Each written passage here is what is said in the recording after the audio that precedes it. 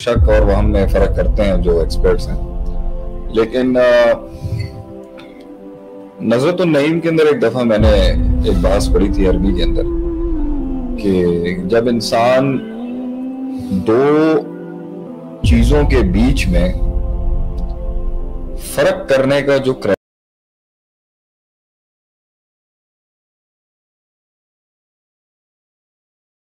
Criteria है ना जैसे हम अमारा कहते हैं। सही। में या इमारा कहते हैं। दैट इमारा तो बैनल दिस एंड दिस हाउलाई व हाउलाई जब वो मिटना शुरू हो जाती है ना उसमें या वो मजहूल हो जाए या वो ज़ाहिर ना हो उसके सामने वो फ़र्क करने वाला क्राइटेरिया कि इस चीज़ से इस चीज़ का फ़र्क क्या है। I think that is where you that is the start of the confusion that is वहम कि जब आपने, अब उन्होंने तो गैर शर्त लगाई थी कि दो जिद्दैन के बीच में से, दो ऑपोजिट्स के बीच में अगर फ़र्क करने का क्राइटेरिया दो ऑपोजिट कॉन्सेप्ट हों ऑपोजिट अपॉर्चुनिटीज़ हो ऑपोजिट फ्रेंड ह्यूमन बींग्स हो ऑपोजिट किसी भी फॉर्म का हो, नफ्स हो, दो ऑपोजिट वजूद हो, उनके बीच में जो फ़र्क करने का क्राइटेरिया है, जब वो खत्म हो जाता है, वो निशानियाँ जो दोनों को फ़र्क करवाती हैं वो अगर खलतमंद हो जाए या मजहूल हो जाए या इल्मी कमी हो जाए या तजर्बे की कमी हो या मुशाहे की कमी हो that is where the doubt penetrates confusion वहाँ से शुरू होती है। जब दो चीज़ों के बीच में फ़र्क करने का जो क्राइटेरिया है ना वो नहीं है। अच्छा, आवाज़ की कमी आ रही है? चले ठीक है जी। अभी ठीक है बताएँ जी is my voice clear to you yes अल्हम्दुलिल्लाह अच्छा जी। मेरी नज़र में जो है जो इस्लामिक एकेडमिक्स है स्पिरिचुअल माइंड साइंस की उसके अंदर तो दो ऑपोजिट्स का या इवन दो कॉम्प्लीमेंटिंग कॉन्सेप्ट्स भी हों, दो दो सही भी हों, उसमें भी अगर फ़र्क करना है, सही और असा में फ़र्क करना है, सही और गलत में फ़र्क करना है हक और बातिल में फ़र्क करना है, खैर और शर में फ़र्क करना है अगर आपने। दो लिमिटेशंस में अगर आपने मुकैदा दो मुकैदात में से एक मुकैद करना मसाले और मुफसदात जिसे हम कहते हैं। बेनिफिट्स और लॉसेस में फ़र्क करना है। दोस्त दुश्मन में फ़र्क करना है। इबलीस में रहमान की आवाज़ मतलब इस सब के बीच में जो क्राइटेरिया है ना फ़र्क करने वाला।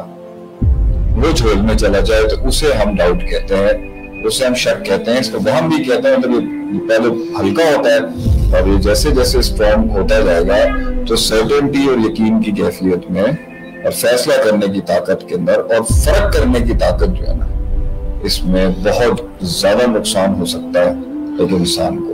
And that is called in my humble opinion doubts and वो वसफ हो वजूद से ताल्लुक हो उसके वसफ से हो उसके एट्रीब्यूट से हो कुछ भी हो लेकिन ये ताल्लुक ये डोमेन है इल, इल्मी डोमेन है ये कुत इस्तलाल की डोमेन है कुत इरादा की डोमेन नहीं है। इसका इंटेंट से ताल्लुक नहीं है।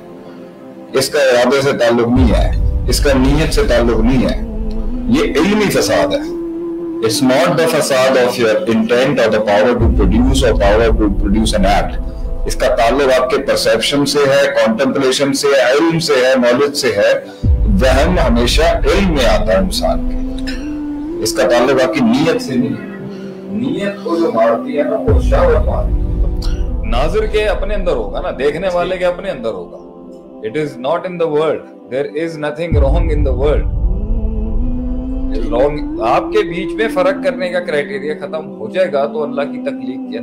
मतलब वही बात होगी ना, अल्लाह की अल्लाह की रहमत में और अल्लाह की अजाब में फ़र्क करने का क्राइटेरिया अगर आप में खत्म हो गया तो आप रहमत को जहमत समझेंगे और अजाब को जो है ना आप अपनी रहमत समझ रहे होंगे ये ताल्लुक उस इल्म के साथ है जिसके साथ इंसान फ़र्क नहीं कर सकता। कि मेहनत जो है ना वो नीयत पे नहीं करनी कसद पे नहीं करनी अजम पे नहीं करनी इरादे पे नहीं करनी अमल करने की उसके ऊपर नहीं करनी। शक शुभात इंसान को इसलिए नहीं आ रहे कि उसकी जो है ना मेहनत में या अमल में या नतीजों में या उसकी नीयत के अंदर कोई फस, फस, फस, फसाद हो गया। नो नो नो नो ठीक है। डाउट इज़ उसके इल्म में फसाद उसके इल्म का फसाद शक कहलाएगा या वहम कहलाएगा। नॉलेज में उसके जो है वो प्रॉब्लम है जिसकी वजह से जो है कंफ्यूजन या डाउट्स के अंदर है। मुशाहिदा क्या है परसेप्शन क्या है उसकी ऑब्जर्वेशन क्या है? वो आप उसमें जो जो भी सिनोनिम्स चलाना चाहते हैं कुव्वत इस्तदलाल क्या है उसकी दलील की ताकत क्या है उसके तसव्वुरात हो गए। तसव्वुरात क्या है उसके एहसास हो उसके इदराकात कहने एहसास तो नहीं कहेंगे उसका इदराकात उसका जो इंटेलेक्चुअलिज्म है ना जो उसकी सोच है जो उसकी फ़िक्र है जो उसका इल्म स्टोर करने का जो अंदर, कल के अंदर जो है जो उसका नूर है इल्म का, ये उसका फसाद है, इसका नीयत वाले पार्ट से कोई ताल्लुक नहीं। This is got nothing to do with your muscles it's got all to do with your mind the thinking part of the mindfulness जहाँ से डाउट आएगा वह वीकनेस है। देखें वो एक इल्म वो होता है, उसमें बहुत यकीनी कैफियत होती है, जो किसी एक एक किसी भी निज़ाम के अंदर, किसी भी सिस्टम के अंदर, किसी भी नॉलेज किसी भी हल्के के अंदर इंसान रहता है, जब तक वो इल्म, जो उसको दिया है जिसने भी, ठीक है?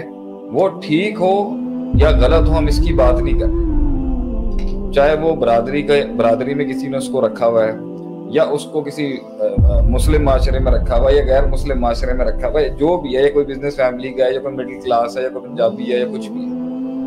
वो यकीनी कैफियत पे अपने अपनी इल्म की यकीनी इल्म ठीक है इल्म सही है या गलत है इसकी बात नहीं कर रहा। वो अपनी यकीनी कैफियत पर जितना वो जानता है रहेगा जब तक कि वो इल्म एक कल्ट में रख से है मैंने आपसे कहा है कि एक इल्म वो होता है जो इब्तदाई इल्म होता है और वो अपने जावियों से बाहर नहीं निकला हुआ होता। थोड़ा सा जामिद होता है और अपनी सराउंडिंग के अंदर थोड़ा सा कैद होता है।